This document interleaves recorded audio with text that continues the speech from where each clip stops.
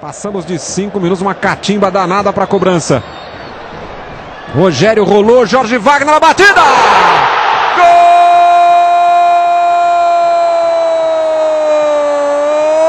do São Paulo!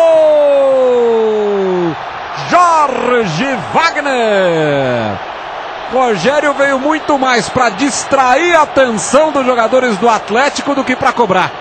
Todo mundo esperando ele definir a cobrança. Ele rolou para o Jorge Wagner, a barreira abriu inteira, passou no meio da barreira, matou o goleiro. Na marca dos cinco minutos. Um para o São Paulo, zero para o Atlético Paranaense. Tenta abertura lá pelo lado esquerdo. Deu legal bandeira. Richardson recebeu. Lá vem o cruzamento na área. Passou. Alex Silva. Na trave. Borges.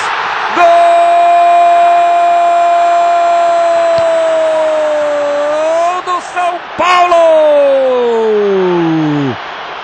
Borges faz o segundo.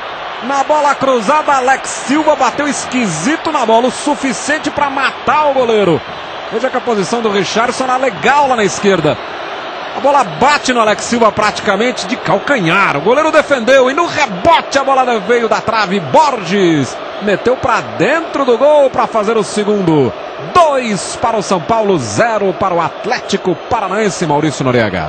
Corretíssima atuação agora do trio de arbitragem. O Richarlison no início da jogada está em posição irregular, mas quando parte o lançamento ele volta. Quando parte a bola para ele na esquerda ele está em condição legal e o Borges foi extremamente feliz no posicionamento. Estava na hora certa onde deve estar.